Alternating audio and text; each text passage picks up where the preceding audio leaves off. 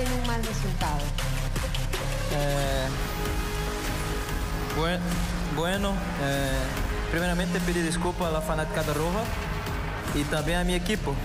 Eh, me confié, lo felicito a Marmolejo, hizo muy bien la competencia y no tengo lo más que decir, me confié y si Galeandra está, en, está en, con nominación ahora, una hora otra ia tocar ella, así que cada uno tiene que ir a nominación y se superarse, ¿no?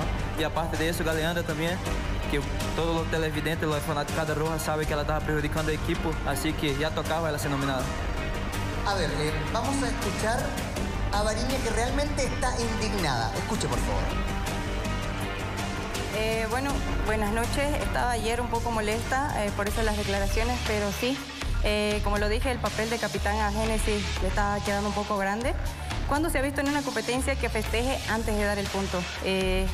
mi molestia fue ayer porque, teniendo ventaja, él podía tranquilamente terminar la prueba, esperarlo en la campana y recién festejar.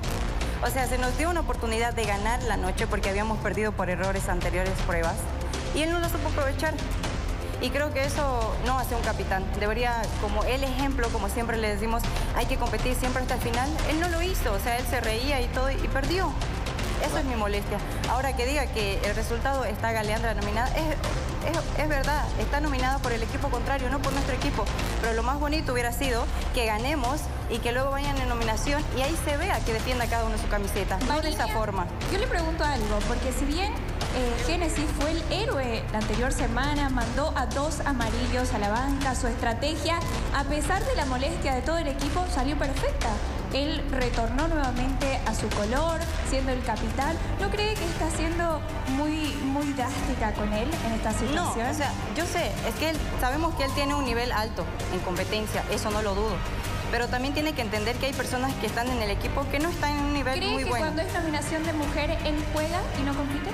O sea, se vio ayer claramente que sí. Hasta Galeandra lo dijo, que en su momento él se estaba jugando y que hubiera perdido al intento o a propósito para que Galeandra vaya nominada. Pero lo más bonito hubiera sido que ganemos y que si los amarillos eh, ganaban una noche así, pero ellas la nominen y ella defienda su camiseta, pero no de esa forma. O sea, fue nominada Galeandra por un juego de él, no por por competir hasta el final. O sea, eso es lo más frustrante para mí y no sé para mi equipo, pero yo sí. Ahí escuchábamos la molestia de su compañera. Génesis, ¿será que por un momento usted ayer se olvidó de que era el capitán de los rojos y priorizó su rivalidad como competidor con eh, Marmolejo? Primeramente, Variña, creo que se equivocó en la palabra de decir que quedó muy grande el, el puesto de capitán para mí. Creo que no es así.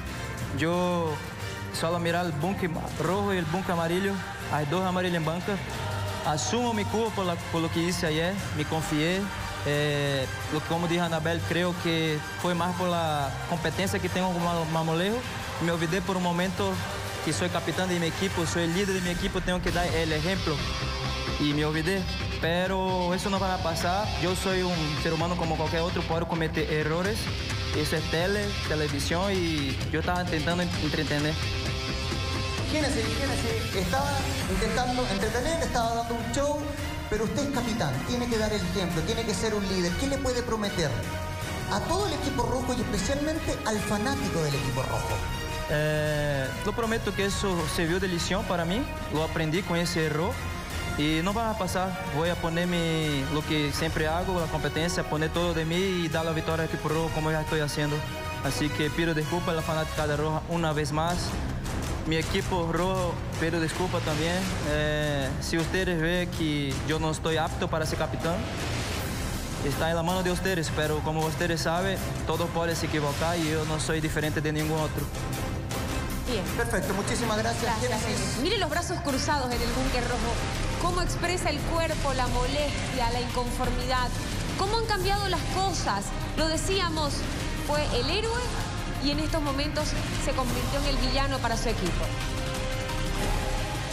Ay, ay, ay, todo puede pasar aquí en Calle 7.